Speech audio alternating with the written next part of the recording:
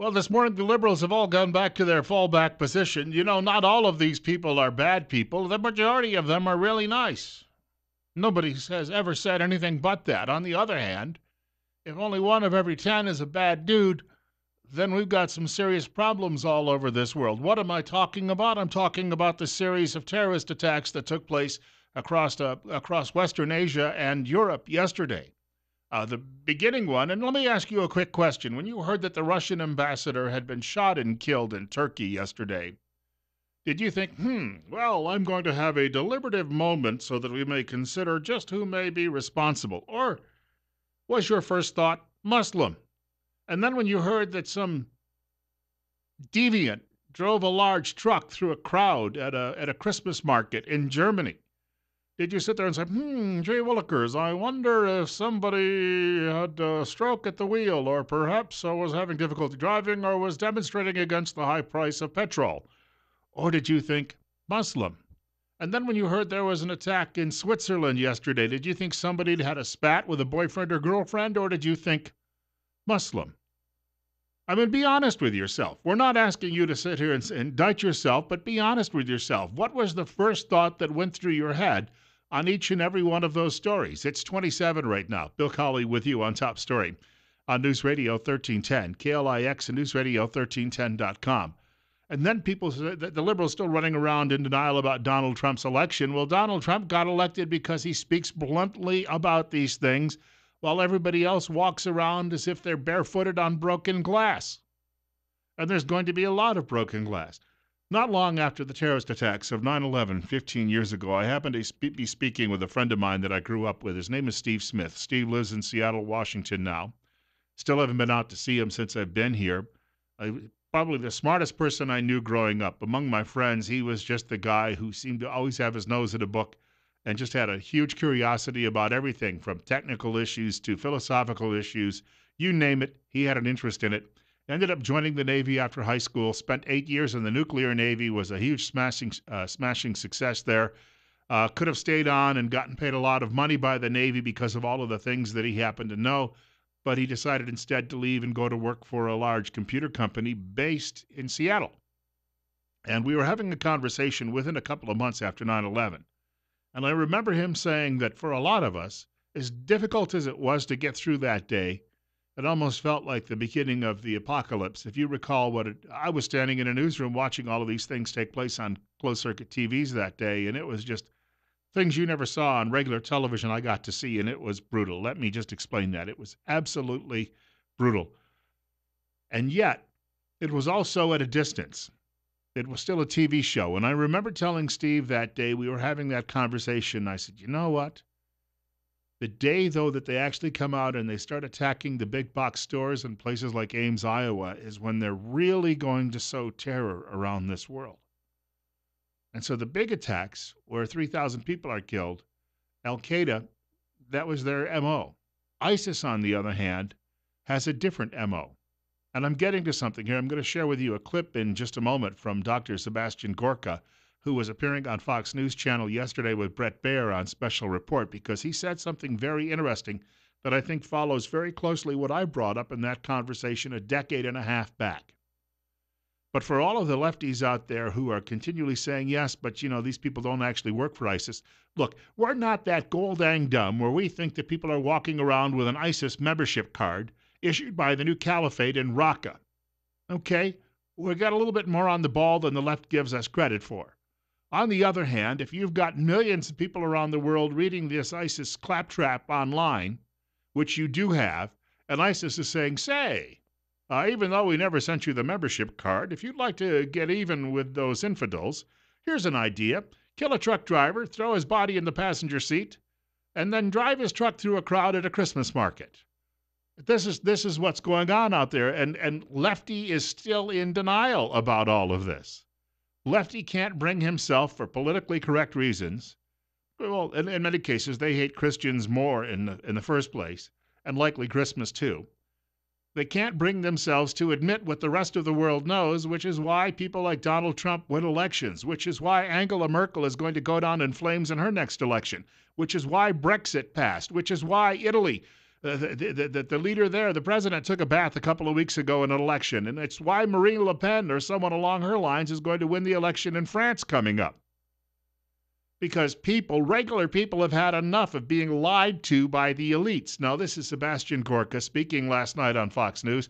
Keep in mind what I said about terrorists attempting to strike smaller targets in smaller places in the heartland of the United States. And the jihadis are already in place. Uh, we saw in Ankara that this is perhaps the most uh, grievous example of insider threat. This is a police officer. This isn't somebody who came off a boat yesterday out of Syria. This is somebody who clearly was trained with a weapon, was carrying a weapon. Uh, that is perhaps the most insidious potential threat that we have to face. And over to Berlin, you have a number of articles that talk about this warning yes. ahead of time. November 17th, a Stratfor article says the most recent edition of Islamic State's uh, Rumiyah a magazine causing an international stir. The feature that's drawn the most attention is an article encouraging the group's followers to conduct more vehicular assaults. Uh, also, Inspire magazine before this, this article noted an advantage of vehicular assaults is that the means of attack are legal, easier to obtain than guns or explosives. To obtain their weapon, those plotting such attacks do not have to take the kind of risks that make them vulnerable to detection and arrest. Furthermore, the vehicles can be borrowed or rented, making an attack relatively inexpensive. The Daily Mirror, others had uh, articles warning of Christmas market attacks as well. Uh, yes, don't forget that the San Bernardino attack occurred when? It occurred during a Christmas party at the office where the couple, Farook and Malik, worked. So the symbolism is very important here. This is the infidel holiday that they're attacking. Uh, to your previous point, um, ISIS has learned from al-Qaeda's mistakes. Uh, al-Qaeda was obsessed with spectacle and with killing as many people as possible. Uh, ironically, 9-11 was perhaps too successful. 3,000 people in 102 minutes. Uh, ISIS said, well, it's not about more people or WMD. Let's just do classic guerrilla warfare. Death by a thousand cuts is what it has been called historically. Death by a thousand cuts. Bill Colley with you this morning on Top Story on News Radio 1310, KLIX, newsradio1310.com. We've got 27. Look, this is uh, this is the only opportunity I have to express an opinion this morning uh, on my own because I've got a guest-heavy show today. Kelton Hatch will be joining us from Idaho Fish and Game in a few minutes with some details on a big upcoming event tonight. Also, Steve Millington will join us between 8:30 and 9 o'clock this morning. Steve is the chairman of the Twin Falls County Republican Party. And then in hour number two of the program, our monthly visit with our Twin Falls prosecuting attorney Grant Loebs, and we'll be talking legal issues in hour number two. Uh, so I just I wanted to make make it clear in the early moments of this program today that indeed World War III continues out there. Now, the other aspect of all of this, all the whining lefty is doing about the Russians lately, let's be honest. The Russians are in Syria because Barack Obama destabilized Syria as he did Egypt and Libya. He is the man responsible for taking the big stick and smacking it aside the bee's nest in all of those places. That's why Russia is there. In the meantime, the Russians have been begging us for years to join them in the fight against Islamic terrorism because they've dealt with it the, the Moscow theater attack, the Beslan school attack. Uh, they've dealt with Chechen rebels, and they've got Muslim republics all over the southern border of Russia and all we do is stone cold tell them no. And then we complain about them while we cozy up to Iran, we cozy up to Cuba, and President Obama won't say a peep when the Chinese provoke us with an act of war by stealing one of our naval drones last week. Hello, what part of this are, are we missing? And why don't we get on board? I said in a column I wrote the other day, you can find it at our website, newsradio1310.com. You don't have to praise Vladimir Putin, but you do need him protecting your flank. Because the two biggest threats to world security right now are not Russia and the USA, but are the Islamic new caliphate, if you will, along with China. And things are shaping up right now as they did in the late 1930s, where you have a nasty East Asian power which is looking to flex its muscle and bully everybody else. And then to the west of them, you have another fascistic power that is also looking to do the same and is spreading across Europe with its tentacles. Now, back then, it was considered in the late 1930s unlikely that we would ever ally with Joseph Stalin, but we did, and it brought those totalitarian regimes and the existential threats they posed to the world to an end. I don't think we have to get in a shooting war if we're prepared now and we have another hulking ally like Russia to join us to be the counterbalance in Asia and in Europe to all of these other threats.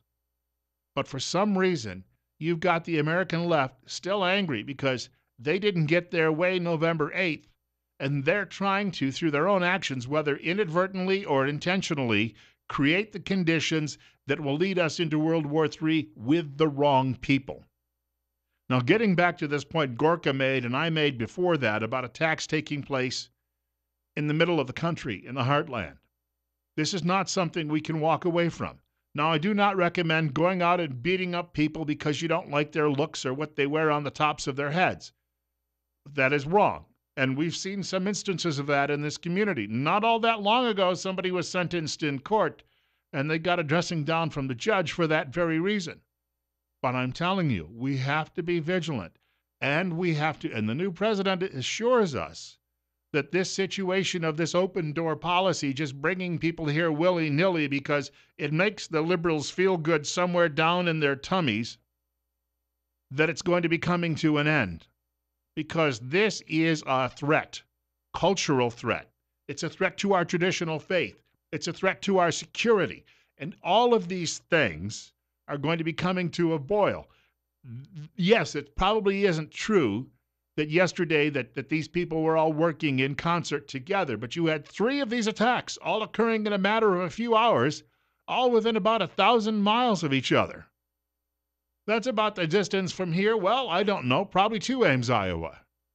Think about that for a moment. Think about that. Think about what, what would happen if tomorrow we had attacks in, I don't know, Des Moines, Lincoln, Nebraska, and in Pocatello. It, it, it, it's that type of distance that's going on. Now, I'm not saying that those things are likely here tomorrow. I'm just sharing that, and it could be a real possibility. We've got to be forever vigilant. Bill Colley with you this morning on Top Story. We'll be joined in a couple of minutes. Going to spend a, a little bit uh, of our time speaking with Kelton Hatch from Idaho Fish and Game about an event coming up tonight. Uh, he's got all the details. That's on the way. Also, wanted to tell you about uh, some of our friends in Jerome at Last Stand Survival Shop. They're offering pistol and rifle classes. These are just getting started. Small classes, by the way, so you get a lot of personal attention. They can also get items in that you might necessarily have to wait for somewhere else. They can generally get items in you need very, very quickly, and they have gunsmiths on site. And they will actually build you an, a very good, high quality custom firearm if that's what you're looking for. And they offer food storage. And that's not only for long term, but for the 72 hour uh, the big storms we might get if you have an ice storm or something along those lines.